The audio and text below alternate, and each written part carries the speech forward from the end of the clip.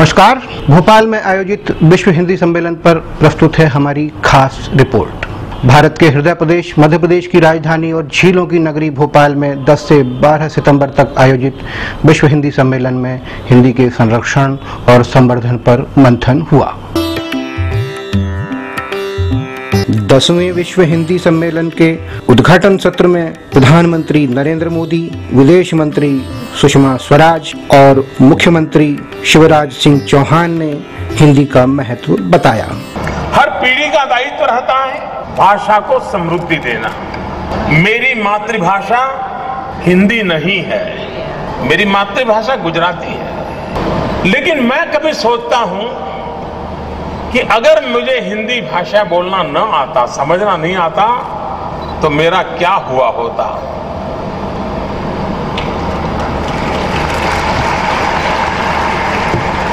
मैं लोगों तक कैसे पहुँचता? मैं लोगों की बात कैसे समझता?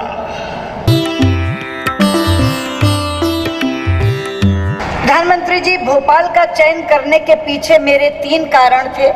पहला, भोपाल हिंदी के प्रति पूर्ण रूप से समर्पित एक ऐसा राज्य है जो देश का हृदय प्रदेश है। दूसरा, भोपाल बहुत सफल और व्यापक आयोजन करने के लिए विख्यात है। और तीसरा मैं बिना संकोच और बिना लाग लपेट के कहना चाहूँगी, तीसरा कारण था मेरा स्वयं का मोह।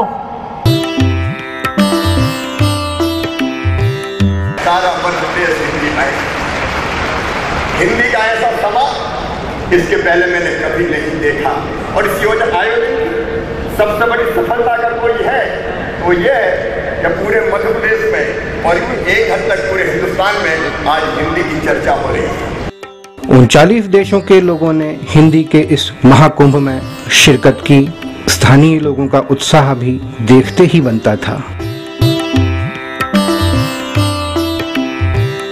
विदेशी होने के नाते हम इतना कर सकते हैं, हमारा इतना योगदान हो सकता है कि अपने अपने भाषाओं में यदि हिंदी का अनुवाद करेंगे, हिंदी साहित्य का अनुवाद करेंगे तो ज़ाहिर सी बात है अपने आप ही हिंदी की हिंदी साहित्य का भी, हिंदी भाषा के भी विस्तार होगा। इतने देशों के प्रतिनिधि प्रतिनिधियों से भी मिलने का मौका है तो बहुत अच्छा लग रहा है और सम्मेलन भी काफ़ी अच्छी तरह से आयोजित है।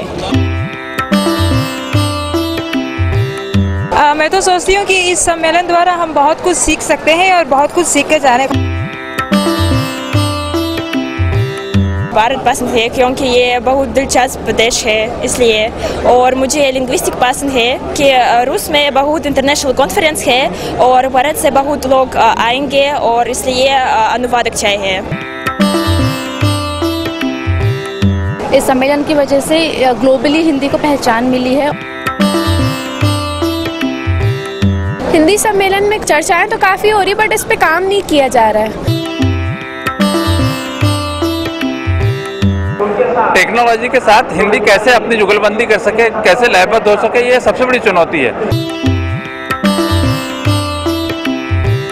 सम्मेलन में विचार विमर्श के बाद जो निष्कर्ष आएँगे वो हिंदी को प्रसार की दृष्टि से मील का पत्थर साबित होगा। सारी जो तकनीक है इसके माध्यम से भी भाषा का प्रचार प्रसार होगा। टेलीविज़न के बाद जो है ना, जो वेब पोर्टल है या वेब के ऊपर जो है सारी जानकारियाँ उपलब्ध होना, ये हम जिसको विजुलाइज करते हैं कि ये भविष्य है। मेरी मातृभाषा मराठी है। लेकिन मेरे जैसे ऐसे बहुत से लोग यहाँ मैंने देखे हैं, क्योंकि हम मानते हैं कि हमारी मातृभाषा कोई भी हो, चाहे बंगाली हो ओरिया हो, तमिल हो, मराठी हो, कानड़ी हो लेकिन पूरे देश को जोड़ने वाली एक भाषा होनी चाहिए और वो देश की भाषा होनी चाहिए। वो देश की भाषा हिंदी के सिवा और कोई नहीं हो सकता।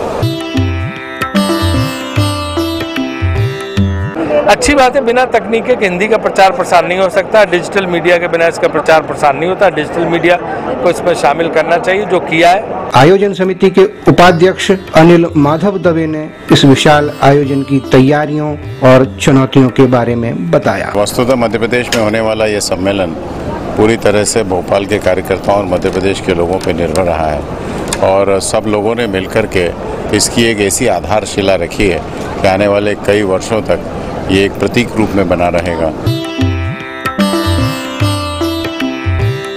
देखिए, संस्कृति एक प्रकार से देखा जाए तो बिना हिंदी के अधूरी है। चाहे वो हमारी ऐतिहासिक धरोहर हो, पुरातत्विक विषय हो, या किसी भी बात की हम बात करें तो संस्कृति बिना हिंदी के अधूरी है। समापन सत्र में भारत के गृह मंत्री राजनाथ सिंह ने बताया कि हिंदी आखिर क्यों पिछड़ी? कश्मीर से कन्याकुमारी तक चले जाइए। द्वारिका से दीमापुर तक चले जाइए। सचमुच अंग्रेज़ी से जाना। गैर हिंदी भाषा भाषी क्षेत्रों में भी यदि किसी भाषा को समझने वाले लोग हैं तो वह हिंदी को ही समझने वाले लोग लाभ और हानि के नज़रिए से विचार करने के कारण ही शायद हमारे नेता यह विचार नहीं कर रहे फैसला नहीं कर रहे कि हिंदी को राष्ट्रभाषा बनाया जाना चाहिए। मेरे जब रिश्तेदार मित्र बाहर अमेरिका में सबसे ज़्यादा अगर वो पढ़ते हैं तो वे दुनिया का हिंदी पोर्टल पढ़ते हैं। और मैं उनको बधाई देना चाहता हूँ उन्होंने यहाँ एक अच्छा प्रदर्शन भी करा और ये एक नई दिशा देगा कंप्यूटर में। हिंदी पढ़ेगा भारत तो आगे बढ़ेगा भारत। हिंदी के इस दसवें महाकुंभ से भारत ही नहीं, पूरी दुनिया में संदेश गया है कि हिंदी का भविष्य बहुत ही उज्जवल है।